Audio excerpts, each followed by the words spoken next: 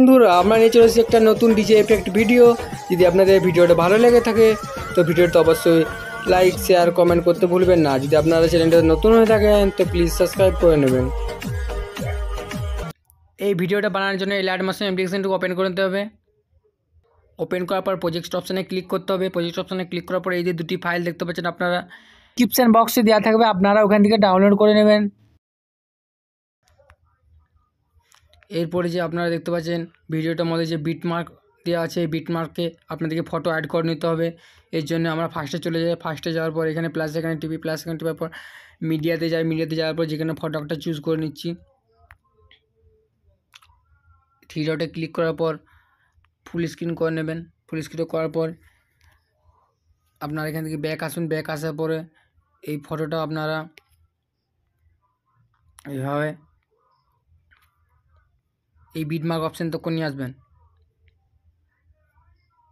এখান থেকে নিয়ে আসার পর বিটমার্ক অপশানে যাবেন, এখানে যাওয়ার পর প্লাস এখানে টিপে প্লাস এখানে টিপে মিডিয়াতে যাবে মিডিয়াতে যাওয়ার পর আবার একটি ফটো চুজ করে নেবে ফটো চুজ করার পর থ্রিডটে ক্লিক করে এটা ফুল স্ক্রিন করে নেবে। ফুল স্ক্রিন করার পর এখান থেকে ব্যাক আসবেন ব্যাক আসার পর এটা এই বিটমার্ক অপশান তখন নিয়ে যাবেন?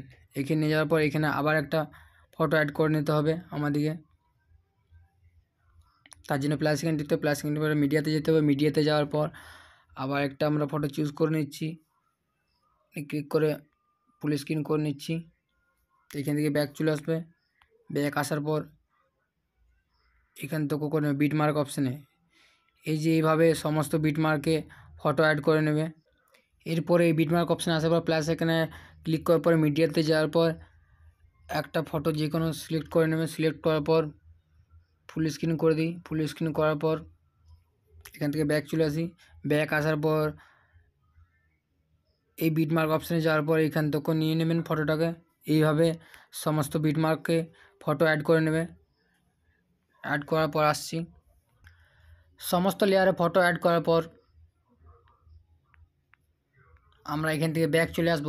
ব্যাক আসার পর ইফেক্টে ক্লিক করব। ইফেক্টে ক্লিক করার পর আমরা এখানে ক্লিক করব।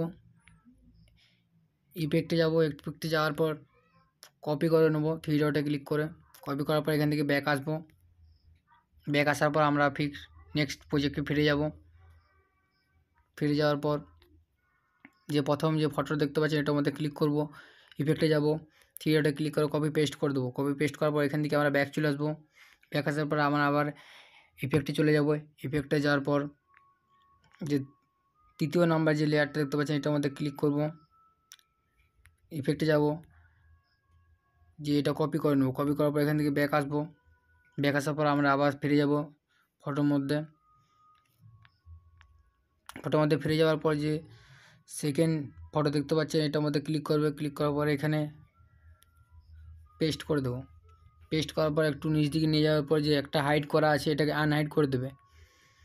আনহাইড করার পর এখান থেকে ব্যাক চলে আসব। ব্যাক আসার পর নিচেটা তো ক্লিক করব। নিচেটা ক্লিক করার পর ইফেক্টে যাওয়ার পর কপি পেস্ট করে দেবো। এটাতে হাইড কর থাক, এটা আনহাইড করবেন না।